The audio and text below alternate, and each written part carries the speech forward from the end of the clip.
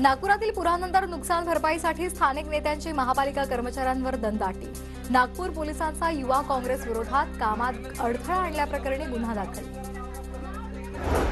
पुण्याच्या सावित्रीबाई फुले पुणे विद्यापीठामध्ये प्रलंबित मागण्यांसाठी विद्यार्थ्यांचं आंदोलन गेटवर चढून कुलगुरूंच्या कार्यालयात जाण्याचा विद्यार्थ्यांचा प्रयत्न.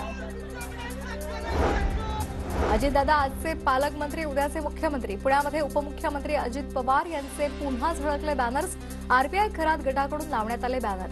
कल्याणमध्ये जुना भांडणाच्या वादातून मित्रावर गोळी जीवघेणा हल्ला केल्यानंतर पळून जाण्याचा प्रयत्न चोवीस तासाच्या आत आरोपी कल्याण क्राईम ब्रँचच्या ताब्यात.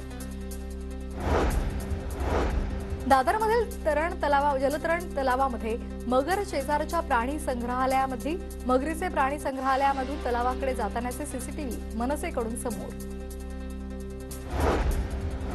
पुण्याच्या खेड शिवापूरमधील आर्या स्पोर्ट्स क्लबच्या खेळाडूंनी पटकावली तब्बल एकवीस सुवर्ण पदकं उत्तराखंडमध्ये झालेल्या राष्ट्रीय किक बॉक्सिंग स्पर्धेमध्ये महाराष्ट्राला प्रथम क्रमांक मिळवून देण्यात मोठा वाटा.